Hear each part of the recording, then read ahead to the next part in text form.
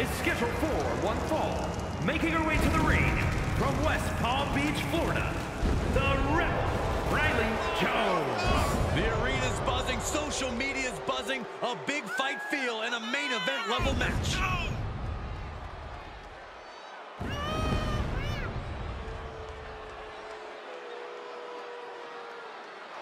She knows tonight is going to be a big challenge, but if anyone is up for it, it's this woman.